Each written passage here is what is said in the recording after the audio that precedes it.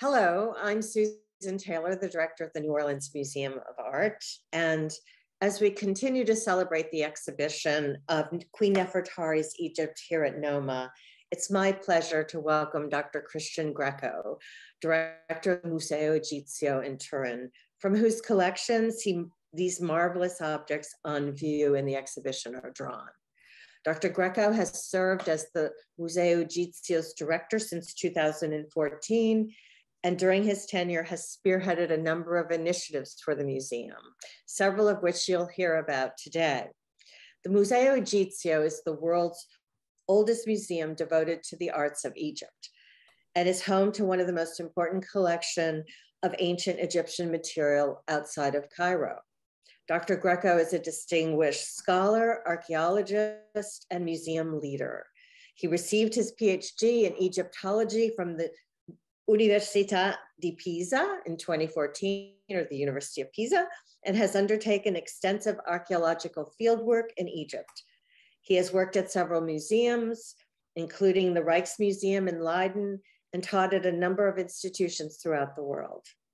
I'm delighted that Dr. Greco could be with us today to introduce to us the Museo Egizio, its collections, and the exciting projects he and his staff are undertaking. Welcome, Dr. Greco, to NOMA. Thank you so much, Dr. Taylor. I, I'm so glad to be part of the exhibition, even if at distance. And uh, I'm so glad that your public is enjoying the exhibition at the moment has the possibility to see so many parts of our collection that are so important, both for our museum, but also for the history of Egyptology. I, so even if from Turin. I'm really connected to NOMA and to the exhibition, and uh, I would like to introduce you today to the history of our museum and to the activity we are doing in order to understand the biography of the objects. So first of all, I would like to um, say what is Museo Egizio. Uh, most of you probably have never heard of it, but don't really know what uh, our museum is. We are placed in Italy, and in Turin is the northwestern part of the country. We are the most ancient Egyptian museum in the world. We were founded in 1824. Just to give you a reference, the um, archaeological museum in the Tahrir Square nowadays, well, the Tahrir in, in Egypt, the Tahrir Square Museum was opened in 1902, but the first part of the museum opened in Bulak in 1863. So our museum in Italy was opened more than 40 years before its counterpart opened in Egypt. Having such a stratified history puts us at the center of Egyptology because through this collection and through our galleries, the most important scholars of Egyptology have come and have developed their research and theory concerning uh, the uh, decipherment of hieroglyphs, the understanding on the language, and the development of ancient Egyptian uh, civilization. We have more than uh, 10,000 objects showed in our permanent gallery. Before COVID, we used to have more than 900,000 visitors per year, which makes us the sixth most visited museum in Italy. And we are currently have 19 research projects, which is really something that I really care about. We have been having loans in four continents. We have been having traveling exhibition in the four continents. Uh, the, the only place we haven't been yet is Australia, but we have traveled extensive in Asia, in the United States, in Europe, in South America, and we are very active, of course, in Egypt, but you will hear about it because it's the place where we have our field work. This has brought us to publish in different languages and, and, and it shows how important internationally our museum is. Just to give you a brief history and to tell you where we are, we are in a beautiful Baroque building in the city center of Turin. You see here just a plan of how our building looks like, and you see also a brief history. It goes back to the 17th century when this building was formed as a kind of boarding school from the aristocrats living in Turin. It then in 1824, the collection arrived and this became the seat of the Museo Egizio. And in 1894, when Schiaparelli became director of this museum, uh, the excavation started in Egypt and our collection has enormously been um, expanded. In 2015, we reopened a completely renewed museum and we're working hard now for the next transformation, which will be in 2024, when we will celebrate 200 years anniversary of our foundation. Let me show you the uh, amount of work we went through when we decided to renew the museum.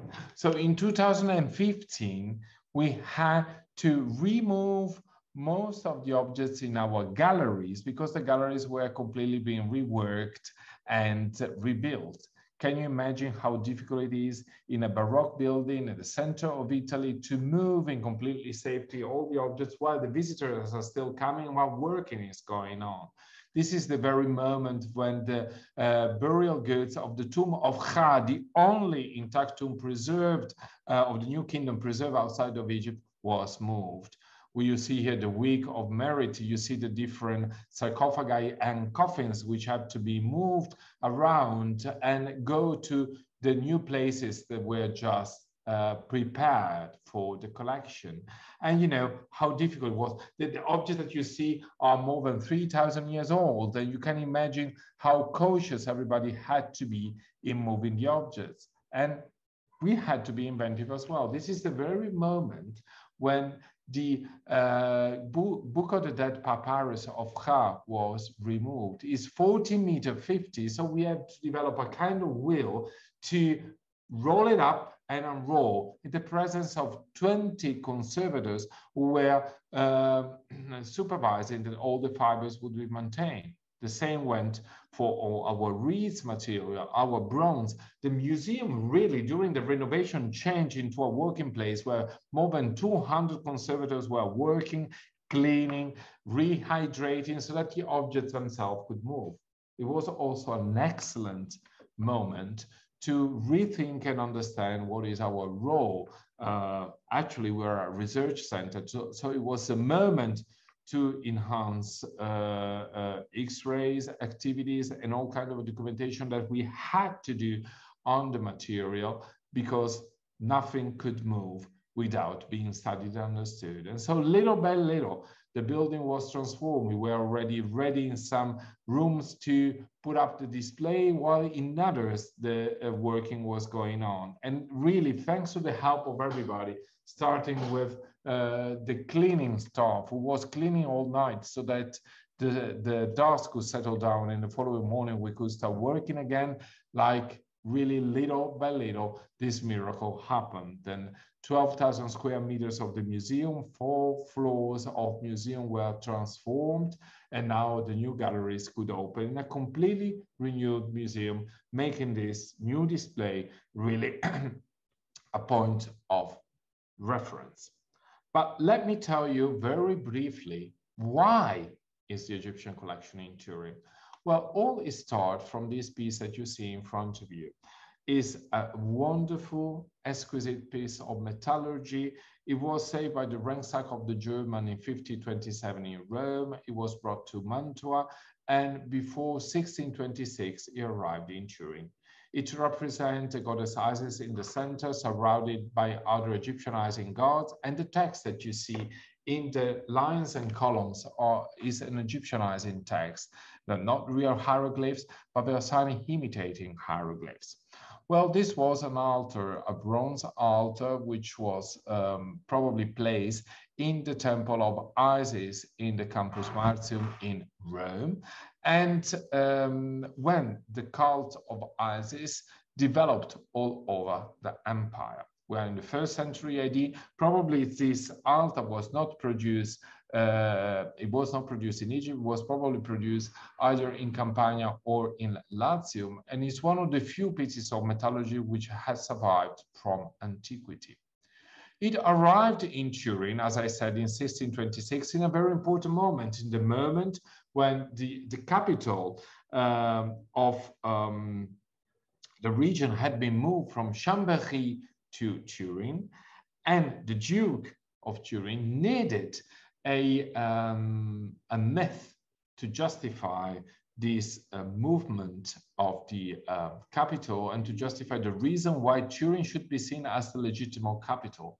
What a better reason than to say the Turin was founded by the Egyptians. And so this myth started living. The arrival of the Mensa Isiaca, the founding in Industria, nearby Turin, of a temple devoted to Isis, the uh, fact that in the name Turin, there is the name Taurus, which means bull, and this bull could be interpreted as being the Apis bull of ancient Egypt. Well, all these elements tied together in creating this myth. And in 1759, the uh, Savoy family, the ruling family, sent Vitaliano Donati, which you see in this picture. Actually, this picture is imitating, as it were, uh, Giza. Uh, Vitaliano Donati went to Egypt to find elements that could explain the Mensa Isiaca. And he brought back some exquisite objects, starting from this wonderful uh, Isis of Coptos. See the um, narrow forehead, the curved nose, the almond-like eyes, the full lips, about all elements typical of the 18th dynasty. And she represents actually the goddess Tia, the wife of Amenhotep III. And she is in the museum to welcome the visitors and to, uh, to show how important uh, this first diving uh, figure, diving statue that arrived in um, modern time signed the transformation of our museum and our history. There are some people which we should mention because the really transformation, if we say 1626, the arrival of the Mensa Isiaca, 1759, the trip of Vitaliano Donati to uh, Egypt, and he brings back the wonderful statue that you have seen, also a statue of Ramses II and a wonderful lion statue of Sekhmet. But then the really turning point is 1824, when the uh, Drovetti collection was bought by the small kingdom of Sardinia. There are a few people that have a part in this. First and foremost, up on your left-hand side, we see uh, Bernardino Drovetti. He was a consul general of France, but he was native of Barbania, place nearby Turin. He collected 6,000 antiquities. He brought them to Livorno in Tuscany, and he, won, and he tried to sell them first to the Tsar in Russia, then to Paris, and finally he managed to sell it to Turin. I mean, to the Kingdom of Sardinia, of which Turin was the capital. You have to uh, remember that at that time, in 1824, uh, Italy was not unified. Italy was unified in 1861. Italy was divided in seven small countries, one of which was the so-called Kingdom of Sardinia, of which Turin was the capital.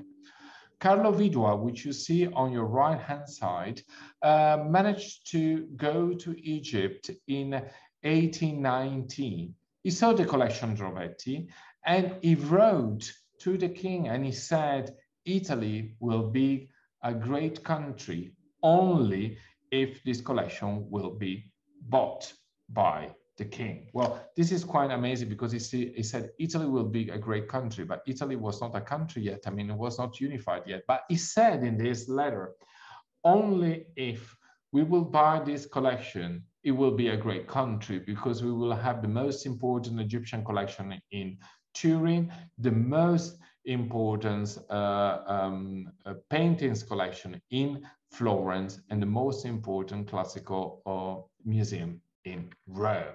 So this view is incredible, like seeing how the cultural heritage can be the fundament, the, the, the, spine, I would even say, on which a nation and a culture could be built on.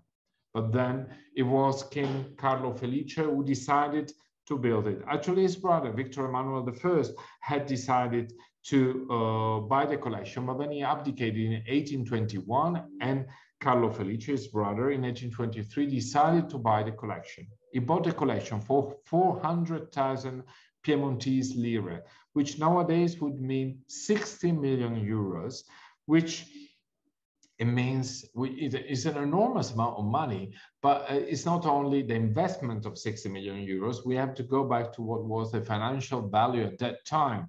And 60 million euros would mean 75% of the GDP of the Kingdom of Sardinia. Can you imagine that the king decides to spend 75% of the GDP just to buy this collection? And then the collection arrived. And the museum was at that time a place of study, a place where the then director, uh, we see a painting here of Lorenzo Delleani shown in the museum in the 19th century, when we see the director, Ariodante Fabretti, standing in the galleries with a book in his hand, reading from a stela. And in the center of the room, we have one of the most important papyri. This papyrus is so important, it's called the Royal Canon of Turin.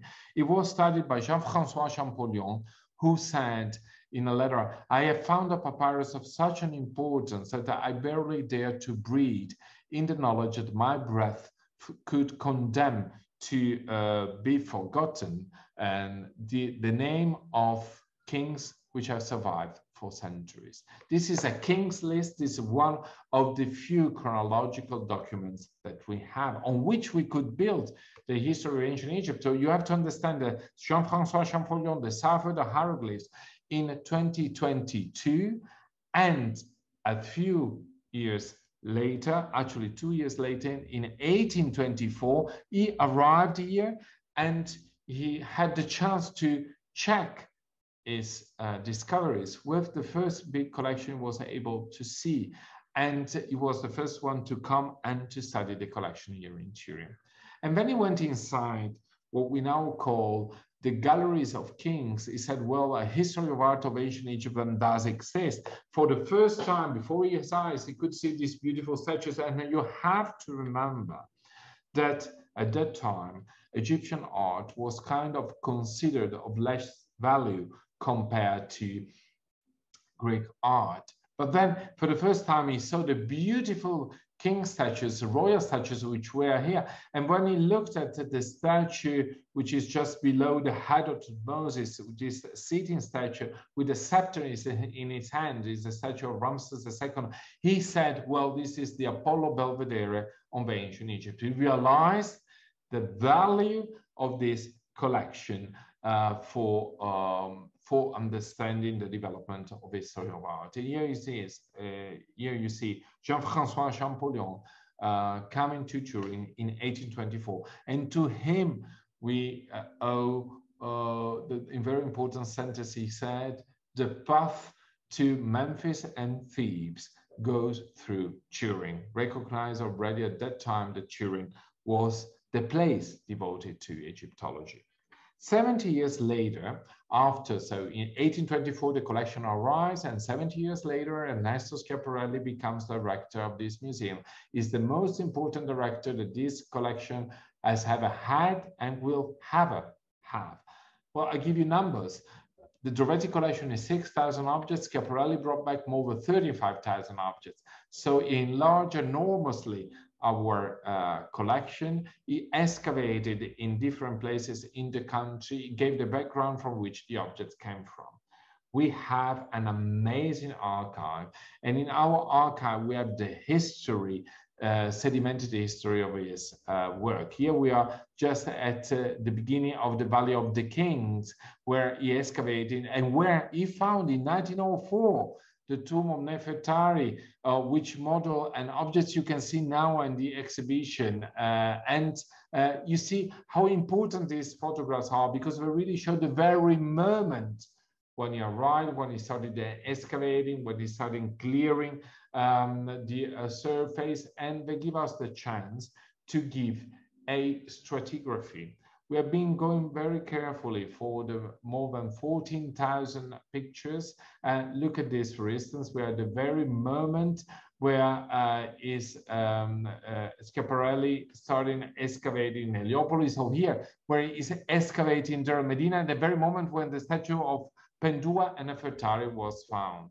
It was documented everything. It was documented the objects while they were excavating, the objects when they were excavating, where they were put into crates, and it would uh, write letters and also saying how the objects would be put into crates and would be sent. And this is allows us right now to reconstruct the history of our collection. If you, just to give you an example, if we go to uh, the 15th of, a, 15 of February 1906, Schiaparelli was excavating Deir el-Medina. Uh, there was a hole. By starting excavating this hole, turned out to be a shaft which was 8 meter 30 deep. Then there were staircases. At the end of the staircase, there was this block made of stones, then a corridor, and then stones again. When we took them out, they found themselves in front of this door, which was still sealed. They realized that the first time after 3,000 years, we were just about to open a room which has been sealed. And in making three-dimensional, the photographs that Schiaparelli took in 1906, we can re-enter now the burial chamber and uh, live once more the very moment where Schiaparelli entered the burial chamber of the tomb of Kha and Merit, when he found the sarcophagus of, uh, sarcophagus of Kha still covered by the linen. On the right, the sarcophagus of Merit still covered by the linen, and then the rest of fruit, bread, oil, beer, 467 objects which were found inside. This is a drawing that Schiaparelli made in 1927 for the publication which he sent to the report uh, to His Majesty the King Victor Emmanuel III. Here you see the workmen when they carry out all the objects out of the burial chamber and now this amazing, unique tomb is all preserved in Turin. So look at the importance also of our archive not only we have the object, but thanks to the archive, we can really go back and live again that very moment and go back on the 15th of February 1906. I repeat, it's the only in New Kingdom intact tomb house outside of Egypt. The owner is Kha, uh, his title in Egyptian is Imi Erkaut Nezut, responsible for the works of the pharaoh, and his wife Merit the beloved one, she's called, uh, she has the title Per, the lady of the house. Well, sometimes we do believe that when you work in a museum, once uh, one of the features you have to have is to be humble, is what I call the humbleness of the researcher. We have a wonderful box uh, coming from the Kha containing seven containers in alabaster, and these containers uh, I mean, they're still sealed. And we would really much like to know what there is inside it. But what should we do? Should we undo the sealing and uh, should uh, so intervene in ruining something that has been intact for more than 3,000 years? If we try to do X-rays, we cannot see what it is inside because X-rays are not uh, capable of penetrating stone. So what can we do? Well, the only thing that we can do is a neutron activation activity to see whether we can try to understand what is the shape of this container. We did it, we set up a project in order to analyze and understand what is inside these alabaster containers. We went to Oxfordshire and we started this thanks to the, the cooperation uh, that we had and the possibility that we had to use the synchrotron, we're starting analyzing these containers to see what we could see inside. And then it turned out that uh, what we were uh, thinking is actually true. You see, we can see the morphology, we can see uh, exactly the shape inside, but we can also see that there is residue that there is still the residue of liquids inside and probably the residue of what we call the seven sacred oils. The oils that were used for mummification and for the opening of the mouth ritual. What shall we do now? Shall we just open it in order to analyze them, in order to have uh, the composition, because we can study how the uh, links between the uh, carbon atoms decayed. And so we can go back to the content of fat inside it and, and make a distinction between these seven oils. Well, it would be nice to do that. But that's when I say that we have to be humble. We have to stop. We have to say, well, we can come up to here, but it's up to next generations to go inside. Or when a moment will come that will allows us to, uh, to um, do research in these objects without damaging them. And I'm telling you that because on the 15th of February 1906, as we have seen, Schiaparelli discovered the tomb of Kha and Merit. As I said, 467 objects were all being brought to Turin now and is one of the most uh, important uh, assemblage that we have in our museum. Schiaparelli at that time decided not to unwrap the mummies of Kha and Merit. In a moment when it was very normal to uh, unwrap the mummies, sometimes that was done publicly so that the people would come to museum to see what is inside. There was this curiosity to see how the Egyptians were able actually to defeat death, to have their bodies still being preserved after so many millennia. Well, what you are seeing right now was never so by Schiaparelli, was never seen by Schiaparelli. Actually, you see the unwrapping of the mummy. We see that the mummy is skeletized, that the only part of the skin is preserved. But look at how amazing it is.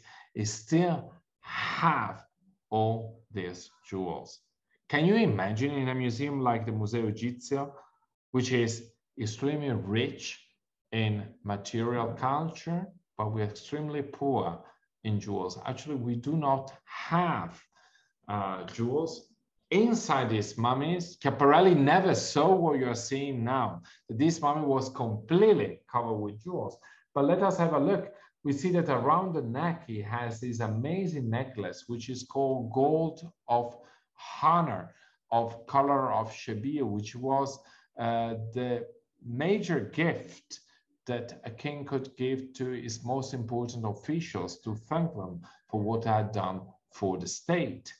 Hanging from this neck, he has a necklace. At the end of the necklace, there is this wonderful heart scarab with a golden framework around it.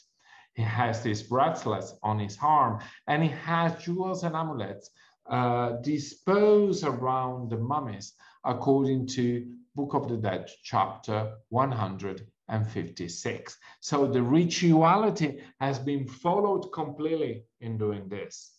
Then we can see, uh, we can have medical information, we can see vascular calcification, we can see that he had arthrosis, lumbar arthrosis uh, in his uh, back, but he also had arthrosis in the knees and uh, um, he also had what we call the syndrome of the tennis player uh, because he had the inflammation of the elbow tendons, um, which is a very important information because probably this is also due to the kind of job he was doing. I told you uh, that his title is Emir Kautenesut, responsible for the work of the pharaoh. We always translate this as an architect, but probably is foreman. He was working in developing a project and doing the work itself. And then we found out that his brain, his heart, his bronchial tube, lungs, liver, and uh, gallbladder is still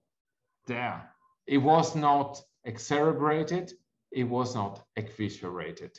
It is amazing because when we publish this information, um, many universities around the world ask us, could we have some analysis. Could we have some samples to do DNA analysis? And our answer was no, not because we're against research, but because here again, the humbleness of the researcher, we have to say, now is the moment to step back. We cannot intervene in any way. We have to respect the human remains. We have, we have the responsibility to preserve them as, uh, as good as we possibly can and to transfer them to the coming generations and probably in the future, there will be a way when you can do endoscopic analysis at the instance without um, intervening directly, without damaging in any way. When Schiaparelli found this mummy in 1906, he could have never thought that you uh, today we would be able to share by a screen can you imagine from turin to the united states and looking inside the mummy and the mummy is actually resting inside his coffin and is still completely wrapped this seems like uh, science fiction uh, compared to i mean going back to 100 years ago so we still have to believe in research. We still have to believe in the development that research will do. And we have to say, well, with the knowledge that we have now, that is where we stop. I do believe that this is one of the major tasks of a museum. A museum can say what it does, studying the biography of the objects, in trying to reconstruct the past, in try and be transparent also in saying that little by little, we are trying to go nearer to the truth, absolute truth, and uh, the absolute essence of how Egypt was in ancient times, though, is probably something we will never achieve. But generation by generation, we will come nearer and our understanding will become greater. And so here you see once more Kha and Kha that now is being rewrapped and uh, uh, well, I, I, have to say uh, that this technology now we apply to many um, different mummies. We also have a gallery which is called In Search of Life, where the mummies are housed in a very respectful way, and then we show how we can do the unwrapping of the mummy themselves.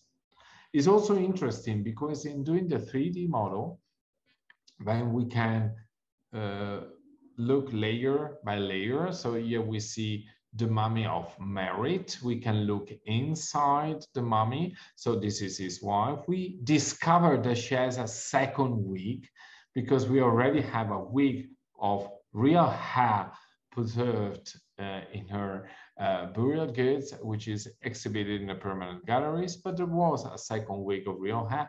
She has this wonderful wesekh color and those earrings and uh, now we can actually print them. So actually what we did is from a 3D model, uh, we did a printout uh, of the uh, color of honor of Kha, of the hair scarf of Kha, of the wesekh uh, color of Merit. And actually, as you see the printout, it's not that satisfactory. You see that there are, uh, well, it's not so neat in the details. Uh, and this is due to many, to two different reasons. First of all, the um, CT scan that we did is, of course, a medical CT scan. And from there, we derive this model. A medical CT scan is made, of course, for human tissues and it's not made to detect the peculiarities of hard stones and metals. We are now studying whether we can do an industrial CT scan, which is possible, or we have to be sure that it doesn't affect in any way the physiological nature of the uh, mummy itself. Once we can have a more precise 3D model, then we can also think of another way of printing, printing by subtraction and not by addition with warm raising as we have done in this case. So you see was a color, you see the rings, the earrings, and actually this is uh, something, is an ongoing project because we want to uh, reach better result. And in the near future, we can have the wrapped uh, mummies of Kha and Merit and the jewels printed out in gold. You're watching now another incredible um, assemblage that we have, which is the tomb of Iti and Neferu. Iti, his title was Emir Behrman Shah, responsible of the army in Gebelein 30 kilometers to the south of Thebes, nowadays Luxor. There were 31 paintings found inside the, um, the tomb, which were detached by Lucarini and brought to Italy, mounted uh, conserved and mounted with a, a, framework and exhibited for the first time in Florence. So you see also how they were exhibiting as if they were paintings as if this was a painting exhibition. What we did now was trying to give a, an archaeological context. We have our archive photo. We know exactly from which pillar and which walls each one of the paintings come from, and we want to give them the proper background. We started when we started studying with imaging, how they were, uh, uh, if we see any rest, for instance, with infrared, and we understood actually that two paintings that now we have uh, separated should be mounted in a different way because this kind of conservation which was done at uh, the beginning of last century was not correct. It was also interesting to do a kind of analysis with different kind of lights to see details which with the naked eye would not be visible. So we use infrared, we use, of course, normal photograph with visible light, we use um, UV ray, and we also use a UV false color. It's incredible to see, look at the beauty of this Egyptian blue, the first artificial pigment which was used. And also look how the, uh, um, the painting was done. They would just trace the contour and then with sponges which were uh, inserted in the pigments, they would just do the feather of the birds and look how beautiful it is. There are all kind of details actually, which with the naked eye would not be visible. And that's why um, infrared can be very important. First of all, you can see that we can detect now a writing in hieratic on top of this figure. Uh, and we are still trying to understand actually what is written there. Or look at here, you see a um, monkey uh, running up this rope on the uh, on the bark and it was not visible uh, before the infrared but once you have done the infrared rounds you have been able to understand what is there you can really reconstruct the whole figure. And sometimes there are surprises that come out when you use the XRF to understand what is the kind of um, material that was used, of course, everybody would think uh, the water would have been in blue, in Egyptian blue, but it turned out that this uh, was um, carbon black, which uh, made us, uh, well, we are, we are really surprised that it's carbon black and not blue as the water should be, but also this give you insight in the painting and makes you realize. And here you see how the display is nowadays with the rebuilding of the 16 pillars and the placing of the paintings where they come from, including the central chapel of uh, and Neferu. In other words, in studying the biography of the objects, we can really give back their context.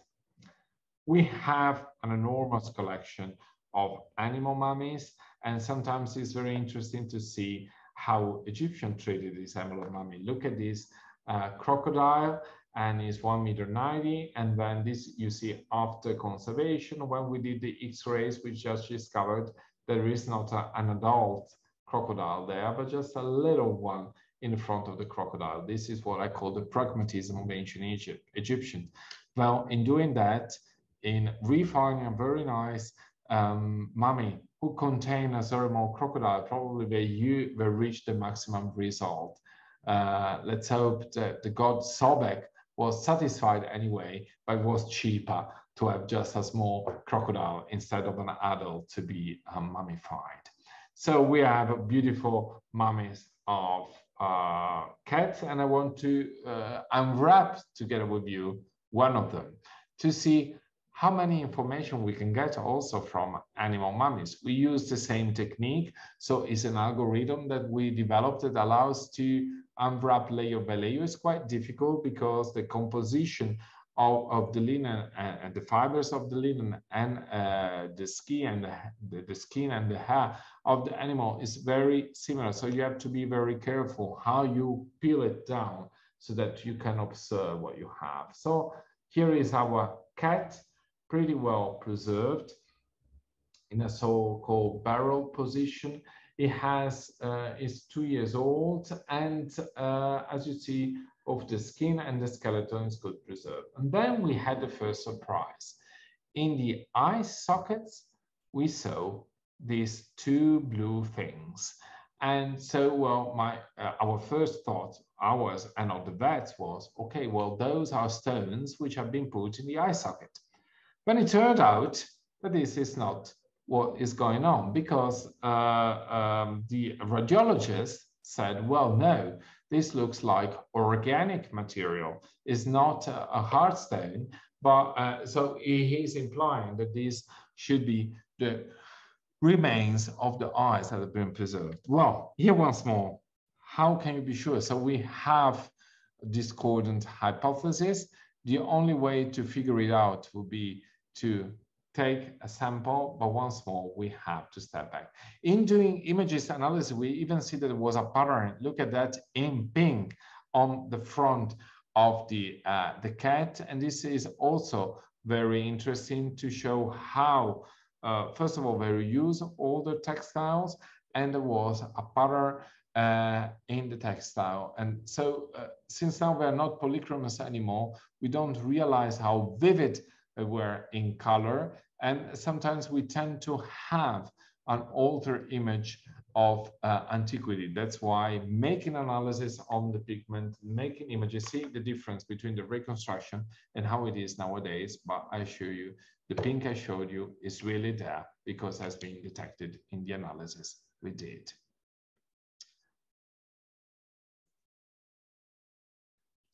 I want to show you something we've been doing research for a long time on. This is really part of my own research. I study uh, what I call the um, yellow coffin of the third intermediate period. One of the most important coffin in our collection is the coffin of um, Butehamon. We did uh, a CT scan of the coffin itself. Uh, we did it in cooperation with the Polytechnic of Milan. We wanted to do the the most perfect CT scan possible. And that gave us a result of the 3D model on which we could uh, uh, have a, a, video mapping with a sub-millimetrical uh, precision. So actually what you see before your eyes is uh, as precise as the coffin that you have. Then I wanted to mount in this 3D model all the information we had on the coffin. So we did also the X-rays and this was mounted on the model. And when we did the X-rays, we saw that the coffin is composed of 13 different parts of wood belonging to previous coffins.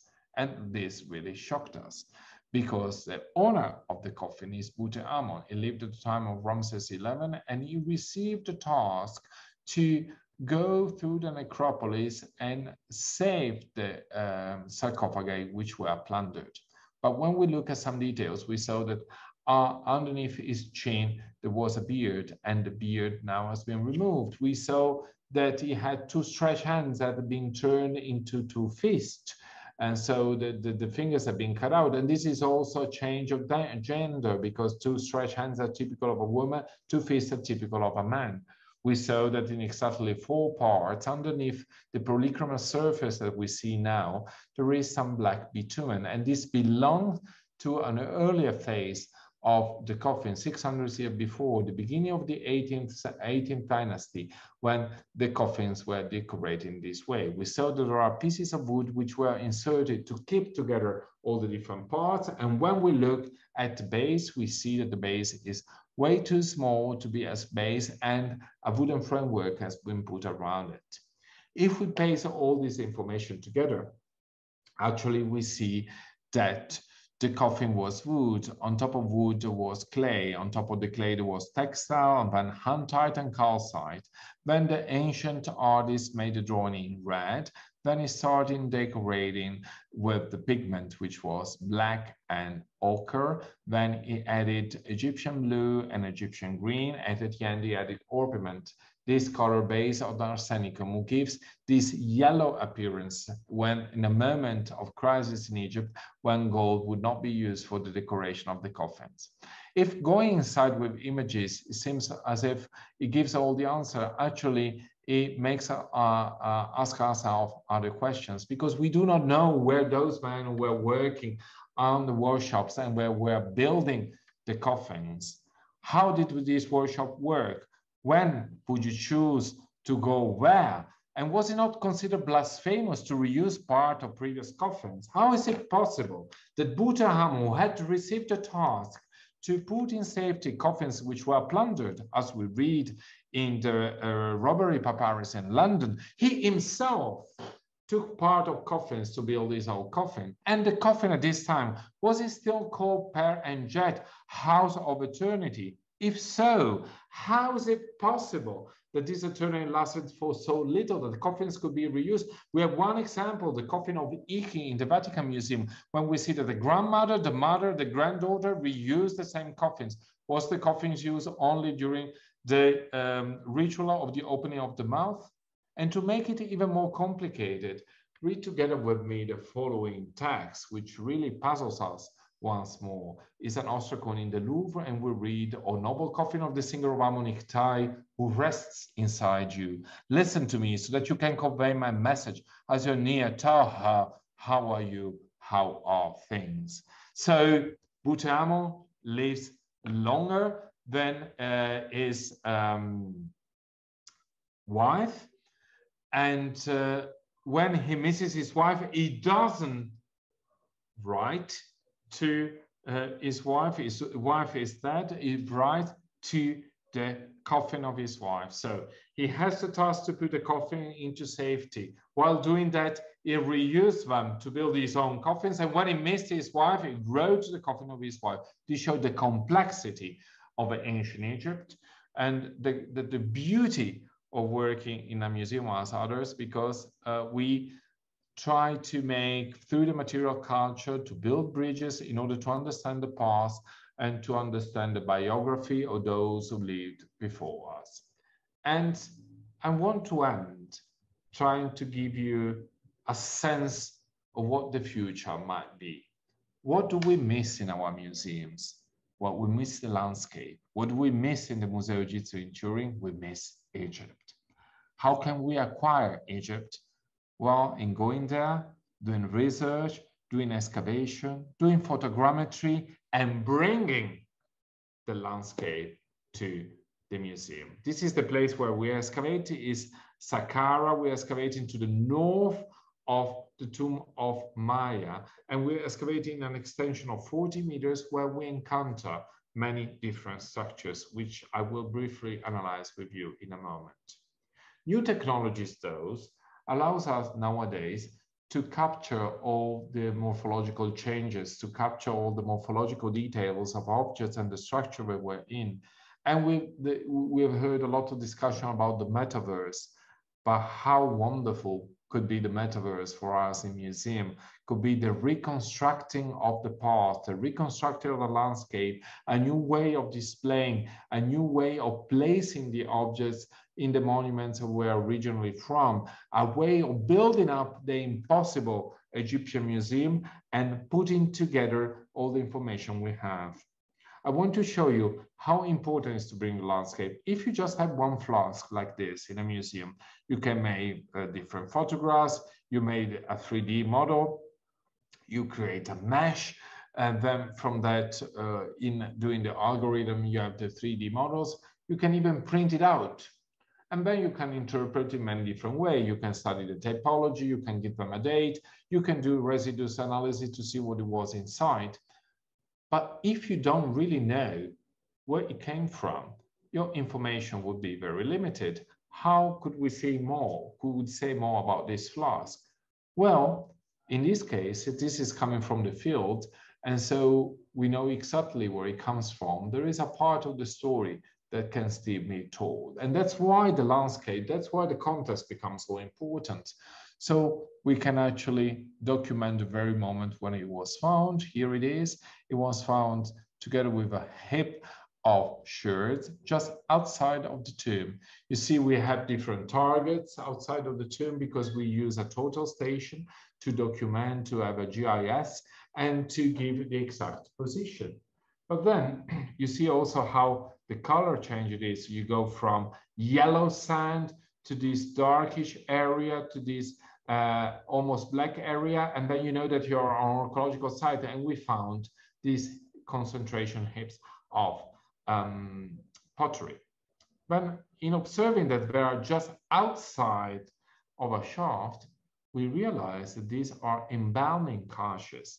This is a residue of what remained over the embalming, but embalming was sacred, so there was no way that you could discard the material that you used, so it was buried just outside the shaft. And the shaft, you know, is the link between the realm of the living and the realm of the dead. In going down, you go to the burial chamber and uh, you separate or you give a new space to the disease. The necropolis and be, has been reused and reused during centuries. And within one meter and a half, we have such a complex stratification of objects that we have to be so careful in the uh, documentation so that we avoid to destroy any details. We have to keep in mind that there is nothing more uh, dangerous when archaeology. Archaeologists do not build anything, they destroy anything, they take layer after layer. And so for us, it's very important to document meticulously everything we find. In this area we are operating, we see in the left-hand part, you can clearly see actually the beginning of a monumental gate. And so there are mud bricks, so there were slabs of limestone and through this monumental gate we enter in a courtyard. We still see two columns in situ and this is part of uh, probably 18th dynasty tomb new kingdom tomb belonging to a person we still don't know that the tomb has been only partially excavated in 2019 when we were not able to go back to Egypt because of the pandemic but we are planning to go back in September, inshallah, and to excavate inside, to, to see whether we can find a name. And the name could tell us maybe who is the owner and whether there are objects in European or American museum that belong to these tombs, whether we can give a background. But you see that we have found all kind of chapels in limestone. So chapels are later in time. They belong to the Ramesside period. We are 300 years later, and they all belong to priests of Ptah. Very often we found in descriptions Emhat and Tach on the front part of Ptah, which means those priests were carrying the statue of Ptah uh, in procession and were on the front part of it. You see in different colors the different stratigraphy that we have. We go from a Ramesside period so 13th, 12th century um, BC to the 8th, 4th century BC, all the way to the 4th, 6th century um, AD. And actually, here, uh, the, the, last part, so the most recent part, what we see in blue is the moment where the Copts went to leave in the necropolis. They wanted to be separated by um, the uh, city. They wanted to go in the necropolis to think about their uh, um, faith, to think about Jesus, to read the gospel. And so they were living actually in the city of the dead. In front of the chapel, which still is the realm of the living, where the living go and bring offerings, there's always a shaft. So the tomb has always this dichotomy. The chapel functions for the living. The be more beautiful it is, the more the social status of the living uh, raises. And then you have the shaft going down. In this case is 4 meter 30. So we can go down and penetrate and go what we and see what we find inside it. And we are now underneath the ground, 4 meter 30 below the ground and we see that there are three rooms to the east, one on the uh, uh, west and to the south. And when we look up, we see that the ceiling is completely blackened.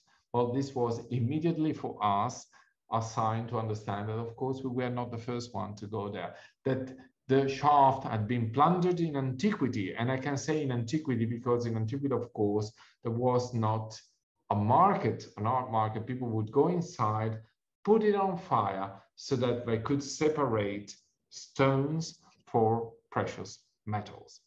Well, this insight in the landscape, the knowledge that we can get from the necropolis allows us to understand what this next step of museum will be when even thanks to metaverse we will be able to bring back the landscape in museum we will be able to understand and contextualize the object. We will be able to go deeper into the biography of the object. I do believe that the future of museum is for and for more research disciplinary research, multidisciplinary research, and the new technology and innovation will bring us to the next step in our epistemological uh, attempt to understand the past and to use the material culture to build a bridge between us and the generation which were before. I foresee a beautiful future of research where all the objects scattered around the world can be put together, understood, published, and studied together, and live in a landscape that we can reconstruct, and this will enhance our capacity of understanding the past. I hope that in wandering in the galleries and the exhibition, you will grasp the beauty of ancient Egyptian objects and be captured by the curiosity to deepen your knowledge and to understand how important it is for us and for humankind to preserve this material culture. I thank you so much for listening to me and really hope you will enjoy the exhibition.